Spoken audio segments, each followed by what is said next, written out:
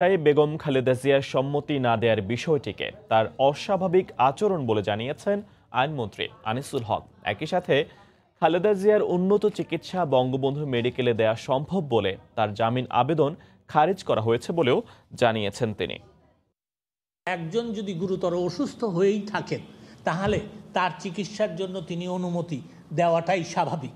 আমরা এইখানে তার অনুমতিটা যে দেওয়া হচ্ছে না, সেটাকে তার দিক থেকে অস্বাভাবিকতা মনে করছি। যেহেতু তিনি অনুমতি দেন নাই, যেহেতু চিকিৎসাটা বঙ্গবন্ধু শেখ মুজিবুর রহমান ইউনিভার্সিটি হসপিটালে করা যায়, সেই প্রেক্ষিতে এখন হাইকোর্ট বিভাগের কিছু করণীয় নাই, সে এবং তাই এই আবেদন নাকচ খারিজ করা হলো। আমার মনে হয় হাইকোর্ট বিভাগ অত্যন্ত গভীরভাবে এটাকে দেখেছেন এবং দেখার পরে আইনি যে সিদ্ধান্ত সেই সিদ্ধান্তে উপনীত হয়েছেন।